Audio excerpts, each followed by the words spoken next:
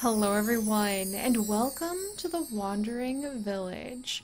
In a world where mysterious plants are spreading all over the earth, emitting toxic spores as they grow, a small group of survivors seeks shelter on the back of a giant wandering creature they call Onbu become their leader, build their settlement, and form a symbiotic relationship with the creature to survive together in this hostile yet beautiful post-apocalyptic world.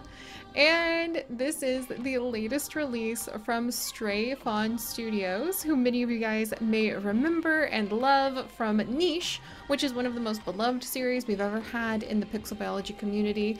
And oh my gosh, I am so excited to be able to step into the Wandering Village. We have already done the demo and fell absolutely in love with this atmospheric and amazing world that reminds me so much of one of my favorite Studio Ghibli movies, Nausicaa Valley of the Wind. Absolutely top tier favorite. I loved the manga as well, even though it got really weird. Just spoilers, it's weird by the end. and the Wandering Village does take a lot of inspiration from some of those sources. So, this is going to be a beautiful journey. Without further ado, let's go ahead and we are going to step into this po post-apocalyptic landscape. We are going to do our best to truly struggle to survive. This is not going to be easy as the demo proved, and we are going to try to make the best decisions we can while riding on the back of the Onbu that we owe our entire village's existence to as we search for the resources we need from the world and try to collect up any of the other human survivors survivors who are desperately searching for help somewhere out there in the wastelands in the wilderness. All right, you guys ready? Okay, all right, let's see. So we can do Novice. The Village Elder shows you the ropes of how to take care of your settlements. Uh, we could do Adept. You start in safe, familiar territory. Take care of your village as you slowly venture into more dangerous regions. And then Harsh the world is a harsh and unforgiving place from the very beginning. Survive by any means necessary. So let's actually go ahead and we're going to try out Adept. And then I think we're going to go ahead and name this, let's see, New, New Ambu? There we go, New Ambu, which is just like, why not? Here, we're going to go with like Nuambu. That's going to be the name of our Onbu, Nuambu, because I just think it, I don't know, it's a good name. And we're going to go with Adept because we did play the demo. I don't remember very much of it, but why not go ahead and give ourselves a little bit of a challenge? If I take a peek at the customization of difficulty, it's no manual saving allowed. Villagers do not die and Onbu does not die. Well, we're just going to go for Adept and see if we can handle, like, the ropes. Driven from our homes exposed. We kept wandering, looking for shelter. But not in our wildest dreams did we imagine what we would find. Oh wow, I forgot about this. Wow. Yeah, can you imagine bonding with that creature? Okay, we need all the tips we can get. Build multiple research. Okay, okay. So let's see. Everybody is kind of idle right now. They all want homes. Here's our Onbu, you guys. It's cold. Okay, we're gonna pause just for a second while we kind of like take this all in. Look at the little toesies. We have little Onbu toesies down there. So as you can see, we found our Onbu, Nuambu, which is, I'm definitely gonna trip over saying that now that I have gone ahead and used the name Nuambu to try to make sense of this. And we have 16 villagers. Can I? Oh, I can rename them. Oh my gosh. Okay. Oh, I'm gonna have to pull up our Patreon name list in just a second and go ahead and rename our villagers uh, after our patrons, which I'll do in just a little bit here. But first, let's go ahead and take just a quick peek at what we can do. For the building menu, we can have a little tent! Oh, that little tent looks so cute. Oh my gosh, I love the art so much. And it looks like we have tiny little berry bushes. And because the weather is so cold, the berry bush is not growing very well right now. Good to note. We can also do researcher buildings, which will enable new buildings and technologies to be researched. The worker post, which will be used to manage researchers, make them specialized as transporters, harvesters, or builders. Workers on this building will get a small movement boost. Okay, good to know. Oh, we can also do storage. Water storage is actually really important. Like, you wouldn't quite think it, but the water is actually a resource that the Onbu does not provide us with, right? So we need to find ways to either collect water from the land around us or collect water while we're on the back of the Onbu. So that is why the humidity is related to our world, is because you're going to want to draw that water out from where you're at. And speaking of our world, Look at this! Oh, look, there's a group of travelers over here. So there's another group of nomads looking for a home. There's a shrine, a place that holds ancient artifacts containing forgotten knowledge. we need a scavenger hunt to be able to go off of the Onbu and go scavenge that.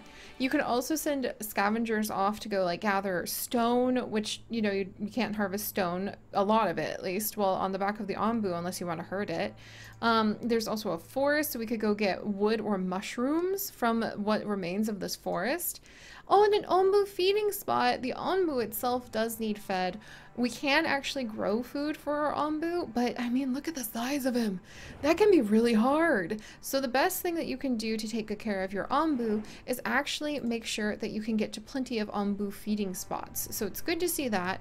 And it looks like, oh, what's this? Oh, little Onbu sleeping spot. These are really important because the Onbu will actually start getting sick and get poisoned as it tries to protect us and guide us through this world that is filled with these toxic spores. So you want to make sure that you find like comfy sleeping spots for your Onbu. Oh my gosh, there's just so much amazing stuff that's going to happen here. We have some raw food. So we do need to go ahead and take care of that. People seem, housing quality is really bad, so productivity is down. Okay, we'll take care of the houses in just a second. And if we open up the research, cactus plantation, learn how to grow cacti at your farm. Cacti are an alternative water source in hot climates. That's clever. Then of course we have the kitchen so that we could go ahead and process a whole bunch of that food. Tomato plantation, corn plantation, wheat harvesting. Here, let's see, and there's the scout tower so you can increase what you can see in the world. And then what about resources? Dung collector! That's new! Collects dung from Onbu, which can then be used to produce biogas and fertilizer. Wow! And there's a tree nursery once we get the sawmill. And you can do a forester to start planting a whole bunch of the seedlings. And the Onbu itself, we can have a horn blower, which is where you start issuing commands to tell the Onbu, go forward, Onbu, or like lay down, Onbu. Uh, and you can also build the kitchen so that you can turn the mushrooms into food for the Onbu. You can tell it to sleep, you can tell it to eat, you can pet it, you can give it a doctor to be able to cure it, like if you need to cure the poison. Onbu laxative, oh my gosh. so we might want to really think about some of those things. Uh, where's this? Oh, so there's the scavenger hunt. So send out workers to scavenge rare resources. So we definitely want to build that. I wonder if you have to have the kitchen first. So we'll have to look into that. And we'll need to actually start like building our village. Material storage. Let's see. The air well automatically extracts water from the air, works better at higher humidity levels, no water is produced in deserts. The farm to grow crops, berry gatherer that can gather the berry bushes without damaging them. We have a lot of berry bushes in a few spots, so that might really help us out to put that down. And then what else do we have? Stonecutter carpenter, Oh, the mycologist! Plants and harvest mushrooms as ingredients for Onbu food. Plants must be placed on dirt soil. So this would be like dirt soil. So this would be a great section for maybe growing a bunch of mushrooms. And then these are Onbu spikes. And so you don't want to harvest those unless you really want your Onbu to be like, why did you do that? That hurt. So I'm going to try not to try not to mess with them. Oh, and look, there's a bunch of like berries that are already ready down here. Ooh, and a bunch of stone down here too that we could go ahead and collect without hurting the Onbu. So I think we're gonna go ahead and maybe start the village down in this section since there's quite a bit there. And there's an herbalist, plant and harvest herbs for medical use, which is very important because we do live in a toxic world and our villagers will actually start building up the toxicity. So you wanna look out for that too. And was any of those so yeah, I think we'll have to do research before we can have the ability to have the scavengers go out. So all right, now that we have figured all of that out, let's go ahead. We'll start building some tents. Hopefully people will come down here to start building it. Um, but I guess I should put berry gatherer down first. Oh, this is really good. Look at all the berries they can gather. Is this spot better? Maybe? Efficiency 76 or 67, efficiency 80. All right, we'll go ahead and we'll put a berry gatherer there. All right. And actually, I guess I need to start like harvesting if I if I'm going to have people like actually Yeah, I'm going to need to harvest a few of these things if I'm going to have people actually like working on the berries because the berries what do we need for the berry gathering? Does it say somewhere? Or let's see, berry gathering 15 wood, 15 stone. Does it tell me if people already have the wood or stone? We have 30 wood and 30 stone, but I don't know, like, is it... Oh, it's just in people's pockets over here. Alright. So hopefully some people are going to be working on that. And meanwhile, um, so we can put, let's put the material storage right here for now. And then let's go ahead and we can get some of the tents set up over here. We need eight tents since we have... Let's see. Yeah, we're gonna need eight tents since we have um 16 people. Two... Maybe I should do them in groups of four. Yeah, we'll do that. We'll have like four people here. And then maybe we'll go ahead and have like a little gap. And then maybe four people over here. And we'll kind of leave a little, we'll, we'll try to leave a little bit of a gap to make it kind of fun for everybody, I say. and then research building is going to be very important. We'll kind of have that in the, well, the research building I feel like might be able to be a little bit away from town since what we're going to need really to be more central is like the kitchen. So we'll put the research building up here. And we're going to need more resources. So the wood, okay. So let's have people start cutting down more of these trees.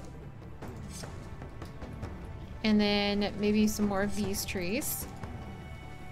People seem a little happy. I'm glad to hear that. Good, good, good. And then villagers will move slightly faster if they're on a dirt road. Well, we'll take care of that as we can. And should I put down an air well? That seems kind of important. just to make sure like stores water seems a little bit important just to make sure like everybody has enough water to drink. Uh but i i guess i should be careful. Stores all kinds of food for the villagers. Yay! All right so we do have berry gatherers. I'm going to assign three of our people. And see look at that. Then they go out in new clothes and they're going to be able to gather berries without hurting it. Oh and look at the cute berries Oh, that's so precious. I love seeing all the berries just growing on the house. Is the Onbu moving? Onbu is sleeping. So thankfully we're able to get a lot of this work done before the Onbu starts like shimmying around the world. And then as soon as we get the research hut done, which I guess I can make that set highest priority, so people will bring wood and stone up to it. Oh, and we're going to need to harvest some stone.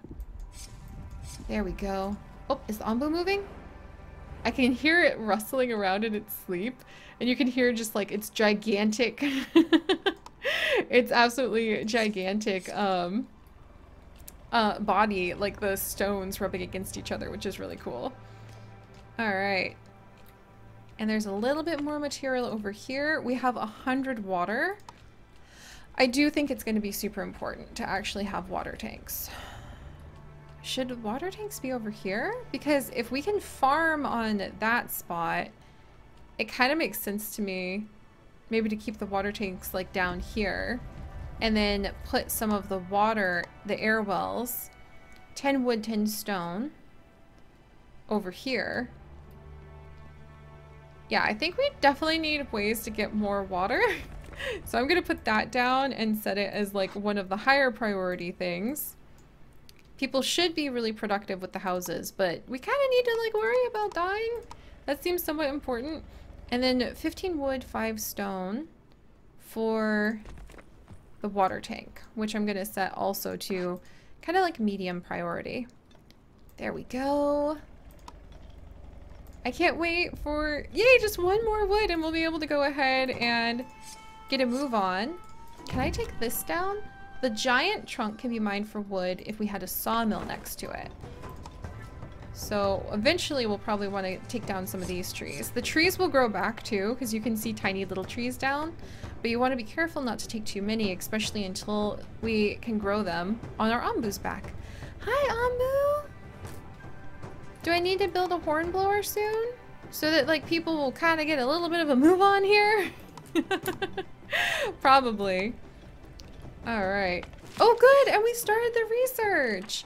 So we can go ahead and do Hornblower to issue commands to the Onbu, which it may or may not follow.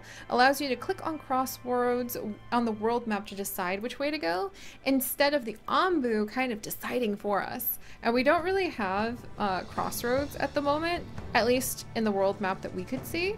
So let's go ahead and commit to the kitchen so that we can make better processed food out of the berries, beets, and if you get really desperate, you can even tap into the Onbu itself, which I just could not bring myself to do, but maybe if it was that or die, and you can actually drain some of the blood from the Onbu and drink its blood uh, which is actually something a lot of nomadic people would do in their relationships with their animals.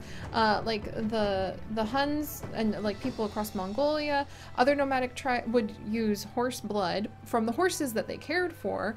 Uh, but like while you're on a big travel mission, they'd nick just a little spot, have some blood as nutrients, and then just keep going with the horse. And people do that with camels as well. So there is a precedence in our own shared human history for that. However, I really hope it never comes to that. But let's do the kitchen because having the scavenger hunt is going to be amazing. And we're going to need to go ahead and have the carpentry and we're going to need to have the stone cutter in order to, yeah, in order to build the scavenger hut. Whew. Oh wait, build cost for the kitchen is also, ooh. Okay, so we're going to work on that. And we have two scientists dedicated to it. But it sounds like we're gonna also want to have a carpenter. Makes planks from wood. I feel like having the carpenter back here would be good. Kind of close to the village. Obviously set up more or less right next to right next to the giant tree where we're gonna put a sawmill eventually. So we'll put the carpenter here and give it kind of like medium priority. Because I think the, yeah, the air well I feel like the airwell should have highest priority. Tent will have lower priority. Material storage. Alright, we need more trees cut down. That's our problem. Oh, and the worker hut would actually help us out because then we can make them transporters, harvesters, or builders. Here, we'll put that next to the research hut because I feel like that would be quite clever. Yeah, we'll put that as a, a little bit of a low priority. Probably would be helpful to have but so would a lot of other things. Alright. How's everybody doing here? Look at them! Look at our little town! I'm really proud of what we've done so far. I'm mildly concerned that our Onbu hasn't woken up. Uh, I'm hoping we have enough food to be able to go ahead. Uh, yeah, we're, we're producing 11 food. We're consuming 25 every day. Let's hope that maybe we can get a few more berries. Like berry collecting team. Maybe the kitchen research will help. Uh, alright, and then we can actually go ahead. Yeah, we can speed things up. The Onbu is getting less sleepy, so theoretically it should wake up sooner than later. Oh, okay, we still have enough rocks marked. Good. Yeah, just sending out a scavenging group for the ability... Oh, and there's some of its mushrooms. Good. But sending out a scavenging group so that we can go ahead and we can get plenty of our rocks and other things is going to be very, very important, I think. Alright. Are you moving around? See, until we can, until we have like the horn and until we do more research into being able to form a trusting, loving partnership with our Onbu, then we're not going to be able to go ahead and like tell it what to do. Right now, we're just kind of like little parasites on its back. oh, yay! Okay, we're coming along. Day two. Still running a little low on food. Just enough to keep me feeling, you know, mildly concerned. But look at that. Oh my gosh, it's so cute. Oh, the Onbu's getting up. The Onbu's awake. Look at all, all of its legs. Oh my gosh. so its sleepiness is now gone. Uh, what's let's see. Our research on the kitchen is about halfway there, and here we go, friends. When the Onbu wishes to move, all we can do at the moment is simply accept the path that it places us on. We truly must put our fate, our future, and our hope into the extremely large hands, or perhaps across the very broad back, of a creature that we are going to have a very important relationship with forever after. Ah, oh, alright. Hopefully, we'll be able to go ahead and we'll be able to make the most of this. But, whew, I think I think we're gonna be being a little bit zippy, friends, trying to get this little village set up. How fast is the Onbu moving? All right, We'll have to see. There's mines that we could go ahead and raid. There's Onbu feeding spots we could tell the Onbu to slow down at. We're going to miss that shrine. But we are currently lost somewhere in the world where it's very cold, so the plants aren't going to grow very well. And all we can really hope for is that the Onbu will guide us well until we're able to go ahead and establish that relationship with it that will let it know, hello, we're here. Please listen to us so that we can all try to survive together. So if you guys would, do please leave a like for, uh, let's see, our Onbu, what did I call it? Nuumbu? Nubu. Nubu? Nubu. There we go. If you could leave a like for Nubu, who is going to go ahead and guide us into the future and hopefully be with us for eons and eons as we follow legacies of our people. And if you'd like to join us on this and literally thousands more adventures, do please consider subscribing. But most importantly, my friends, stay curious, and I'll see you guys next time. Bye-bye!